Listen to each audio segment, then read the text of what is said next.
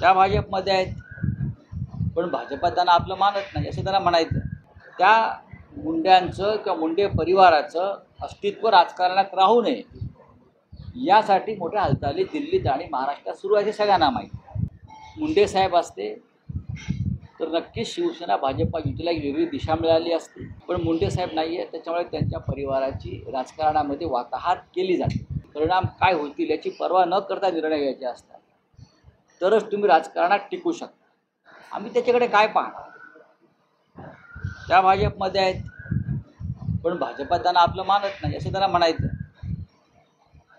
गोपीनाथराव मुंडे यांनी महाराष्ट्रामध्ये भारतीय जनता पक्ष उभा करण्यासाठी रक्ताचं पाणी केलं.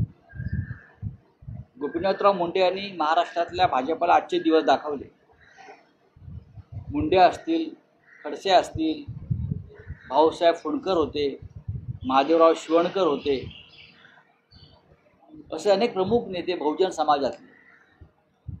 यांनी या महाराष्ट्रामध्ये भारतीय जनता पक्ष शून्यातून निर्माण केला. शिवसेनेबरोबर युती केली. आणि हा पक्ष सत्ताधारी पक्ष बनवला. त्या मुंड्यांचं किंवा मुंडे परिवाराचं अस्तित्व राजकारणात राहू नये यासाठी मोठ्या हालचाली दिल्लीत आणि महाराष्ट्रात सुरू आहे हे सगळ्यांना माहिती. पंकजा मुंडे या गोपीनाथरावांच्या कन्या आहेत. त्यांचा पराभव का आणि कसा झाला याच्याविषयी आम्ही वेगळं सांगण्याची गरज नाही. कारण तो त्यांच्या पक्षाचा अंतर्गत विषय आहे. तरी आम्हाला मुंडे परिवाराविषयी आमच्या मनामध्ये कायमची आस्था आणि प्रेम राहील ती गोपीनाथराव मुंड्यांमुळे. मुंडे साहेब असते तर नक्कीच शिवसेना भाजपा युतीला एक वेगळी दिशा मिळाली असती. आज जे चित्र दिसतं ते दिसलं नसतं.